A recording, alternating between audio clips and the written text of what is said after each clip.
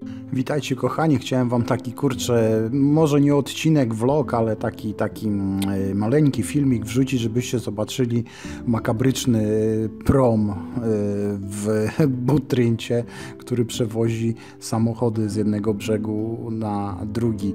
Po prostu strach e, wjechać na ten prom, to jest taka rozpadowa, że przepłynięcie nim tego kawałka naprawdę dostarcza wielu fajnych wrażeń. Po po prostu to jakieś stare, zardzewiałe mechanizmy, zardzewiałe liny, wszystko trzeszczy, buja się na wszystkie strony. Powiem Wam, że adrenalina jest naprawdę, naprawdę dość wysoka. Polecam, jak będziecie w Albanii, w Butryncie, żebyście się przepłynęli tym y, promem, a naprawdę, no jakieś tam grosze to kosztuje, ale przeżycia są fajny. Różnymi promami płynąłem, ale ten jest po prostu wybitnie zajebisty.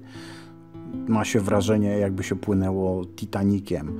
Także pomyślałem sobie, że zrobię taką małą wrzutkę poza, poza, że tak powiem, wszystkimi filmami, bo akurat ten materiał wpadł mi w łapy.